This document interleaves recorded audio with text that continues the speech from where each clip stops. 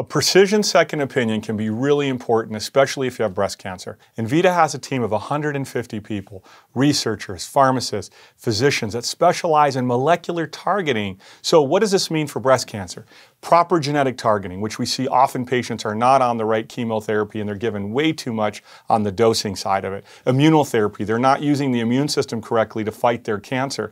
Even targeted non-invasive surgery where we go in with precision catheters right to the tumor, come out with a band-aid and target those cancers in the multiple areas of the body to begin to shut them down and stimulate the body's immune system to go after those cancers. There's much more that we offer here at Envita, and I want to invite you to reach out and get a precision second opinion. And our staff is standing by to help you and help answer any of your personal questions with your situation. May God bless you on your journey to healing.